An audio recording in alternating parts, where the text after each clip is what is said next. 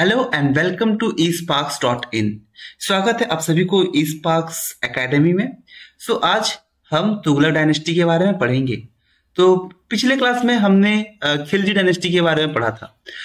Khilji dynasty जब खत्म हुआ खुजरो खान का जब खुजरा खान को मार दिया जाता है गजी मलिक द्वारा।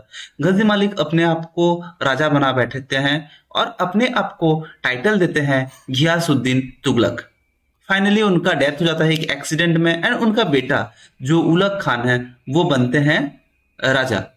वो अपने आप को टाइटल उनका टाइटल दिया जाता है, मोहम्मद बिन तुगलक। अब मोहम्मद बिन तुगलक, जो कि सन है घियासुद्दीन तुगलक के, वो इसलिए फ़ेमस बनते हैं उनके पाँच पॉलिसीज़ की वजह से। बहुत बहुत ड्रीम करते थे बहुत एम्बिशन रखते थे कि कुछ तो बड़ा करेंगे आज, कुछ तूफानी करते हैं। ठीक है? तो चलिए देखते हैं ये क्या क्या तूफानी करते हैं। पहला तूफानी है, ये डोब। डोब मीन्स गंगा यमुना वाला आप एरिया बोल सकते हैं। फर्टाइल लैंड रहता है बहुत। जहाँ पे ज़मीन बहुत फर्टाइल रहती है पेड़ पौधे बहुत सारे आप उगा सकते हैं उस ज़मीन में। ठीक है ना? तो उस ज़मीन पे ये टैक्स बढ़ा देते हैं। टैक्स बढ़ाने से क्या होता है? ये सोचते हैं कि टैक्स बढ़ा देंगे तो अपना जो स्टेट जो पैसा देगा, हम लोग इनकम ज़्यादा बढ़ जाएगा। इनकम बढ़ जाएगा। ठीक है? तो हाउस टैक्स बढ़ जाता है, चराही यानी जो पेस्चर टैक्स ठीक है? चराही बढ़ जाता है, घर ही हाउस टैक्स बढ़ जाता है। इससे क्या होता है? उनको लगता है रेवेन्यू बहुत आएगा। बट देन क्या होता है? इससे जो है पीजेंट्स बहुत परेशान हो जाते हैं।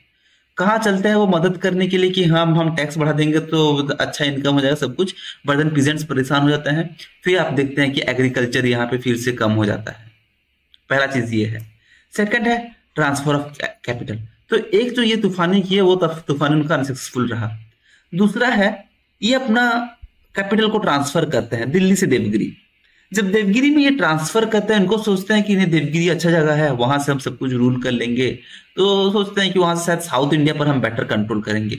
बट जहाँ वो दिल्ली से, ये वाला रीजन से, जहाँ पे वो साउथ इंडिया की ओर बढ़ने का कोशिश करते हैं नॉर्थ पे उनका कंट्रोल डगमगा जाता है। फिर देवगिरी को जिसको कि दौलताबाद बाद में कहा जाता है, देवगिरी, वहाँ से फिर ये रिटर्न आते हैं। रिटर्न आके फिर से वो साउथ इंडिया से रिटर्न आके ये कंट्रोल करते हैं नॉर्थ को। तो ये भी जो ड्रीम था कि हम उसको कैपिटल बनाएँगे तो ये भी फेल हो गया। जाने आने में बहुत यहाँ पे लोग मर जाते हैं डेथ होता है। कंट्रोल भी इनका नॉर्थ साइड के ऊपर अच्छा खासा नहीं हो पाता। ये भी मिशन फेल हो जाता है। तीसरा होता है इंट्रोडक्शन ऑफ़ टोकन करेंसी जो कॉस्टली करेंसी चल रहे थे कॉस्टली गोल्ड सिल्वर ये सारे करेंसी को ये बैन कर देते हैं। कहते हैं कि, अब भाई तुम लोग सस्ता वाला करेंसी चलाओ, जिसको ब्रोंज करेंसी कहा गया है। कहते हैं कि, तुम लोग ब्रोंज करेंसी चलाओ। बट ब्रोंज करेंसी से कहाँ होने वाला था? नॉर्मल जो लोग हैं, वो लोग अपने घर घर में ब्रोंज करेंसी छाप लेते हैं। ठीक है? अब और क्या ही कर सकता है कोई? अब घर घर में छाप लिया तो फिर फाइनली ये जो करेंसी मार्केट में बहुत आ गया। आदमी खुद करेंसी बना कर, खुद कुछ भी खरीद ले रहा है। फिर से लास्ट में क्या करते हैं? वो ब्रोंज करेंसी को रिप्लेस करा करके फिर से सिल्वर करेंसी लाते हैं मार्केट में। कि जिसके पास जो ब्रोंज है भाई, दे दो, हम तुमको सिल्वर करेंसी रिटर्न देंगे। तो ये भी ड्रीम उनका फेल हो गया। Next propose Khurasan expedition Khurasan expedition में उनका एक आर्मी रहता है खुरासनी जो नोबल्स रहते हैं, वो कहते हैं खुरासन आप अगर देखेंगे तो वो इराक साइड का है, ठीक है? इंडिया है इंडिया के इस साइड का। ये इंडिया का मान लीजिए जम्मू कश्मीर वाला एरिया गुजरात, इस साइड का वाला एरिया आप जाएँगे तो उधर आपको खुरासनी मिलेगा। खुरासनी के जो लोग थे, जो नोबल्स हैं, उनके मिनिस्टर्स लोग हैं, वो सब कहते हैं कि तुम खुरासन पर भी कब्जा कर लो। वो भी सोचते हैं, ठीक है, अभी वो मिलिट्री एक्सपीडिशन करेंगे खुरासनी पर कब्जा करने के लिए। बट देन उनको बाद में पता चलता है कि खुरासन का जो रूलर है, वहाँ पे बहुत खराब रूल हो गया है, अबू का। अब वो जाएँगे तो वहाँ पे अब इसको बहुत पीटेंगे। ठीक है तो फिर वो फिर वहाँ से चले आता है।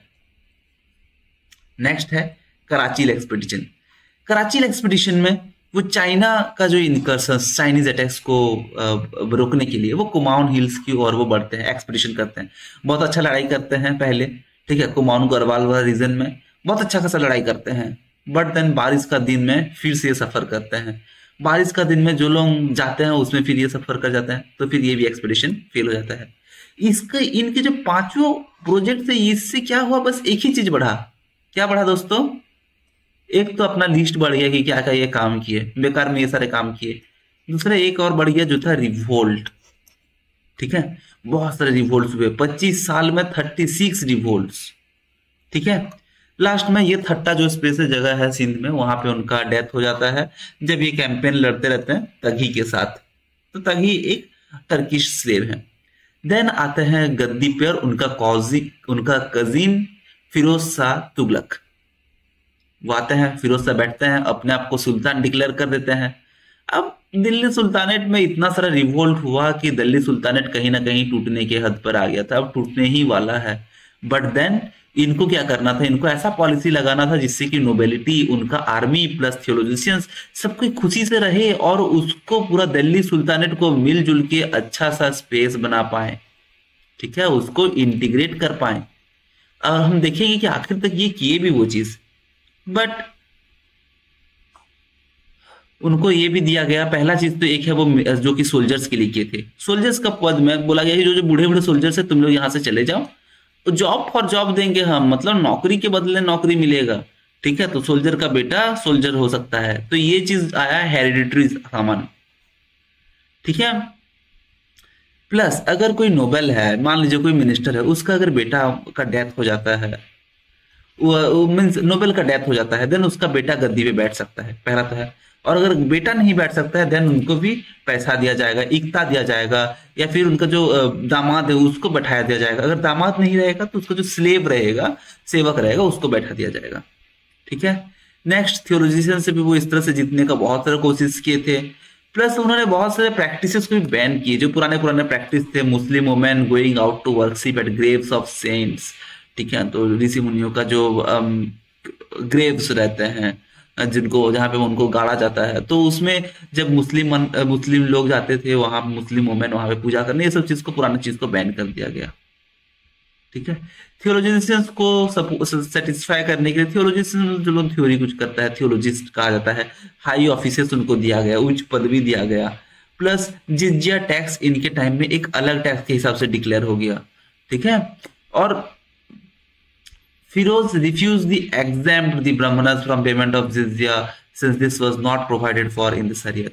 अब उन्होंने ये भी कर दिया कि अब जो ब्राह्मण से भाई उनको भी जिज्जा टैक्स देना है, क्योंकि उनका शरीयत में ये मेंशन नहीं है, इसलिए ब्राह्मणस को भी देना है, यही लिखा गया है। ठीक है? नई टैक्सेशन भी स्टार्ट हुए, खरज, जकत जिज्या खाम्स, इस तरह से। तो उसका कितना कितना परसेंट किताब में दिया हुआ होगा, उसको आप पढ़ लीजिएगा। बहुत सारे डैम्स ये रिपेयर कराए, plus dams, plus water tax भी लगाए, जिसको हक ई सर्ब या फिर हसील ई सर्ब भी कहा गया है। बहुत अच्छे ये बिल्डर थे, फतेहाबाद, हिसार, जौनपुर, फिरोजाबाद जैसे बड़ी बड़ी जगहों को ये बनाए हैं। दो पिलर अगर अशोका का देखा जाए, एक टोपरा हरियाणा का और दूसरा मेरठ का, वो दिल्ली में लाया गया। वहाँ एक अस्पताल भी बनाया गया, जिसका नाम था दरूल सिफा। एक नया डिपार्टमेंट दीवानी खैरत भी बनाया गया, जहाँ पे शादी कराया जाता था पुअर गर्ल्स का।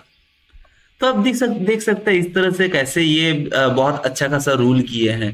However his rule was marked by peace and tranquillity बहुत सारे लड़ाई झगड़े भी हुए उस टाइम में बट बट ओवरली देखा जाए तो वहाँ पे बहुत शांति भी था। ठीक है? Credit for is it goes to the prime minister Khan Jahan Maqbool. And finally 1388 में उनका डेथ होता है। फिर उस तुगलक के बाद ये जो दिल्ली सुल्तानेट है, फिर से डगमगाना शुरू करता है। तुगलक डायनेस्टी अब रहना उसका थोड़ा मुश्किल बन जाता है। मलवा, गुजरात, सरकी अपने अपने अलग अलग हो जाते हैं। फाइनली मंगोलिया से तिमूर आते हैं। तिमूर मंगोलिया से आते हैं जो कि चेंगिस खान के डिसेंडेंट हैं। एंड वो इन्वेट करते हैं मोहम्मद शाह तुगलक के दौरान, जो कि लास्ट रूलर रहते हैं यहाँ के। फाइनली बहुत सारी चीज़ लूट करके ले जाते हैं। तिमूर सेंट्रल से जाते हैं और वहाँ पे अपना एक चेला जिनको चुन करके जाते हैं, खिजर खान। खिजर खान को चुन करने के जा चुन करके जाते हैं कि तुम पंजाब को रूल करो। बट जाते जाते ही तिमूर का 1404 में चाइना में उनका डेथ हो जाता है। चाइना में जब वो कॉन्कर करने जाते हैं, ठीक है? चाइना को कब्जा करने। फाइनली किजुर खान गद्दी पे आते हैं और वो शुरुआत करते हैं अपना साइद डायनेस्टी ठीक है? तिमूर नोमिनी थे, ये हम जानते हैं कि सुल्तान किस तरह से, सुल्तान मीन्स जो ये आपका तिमूर।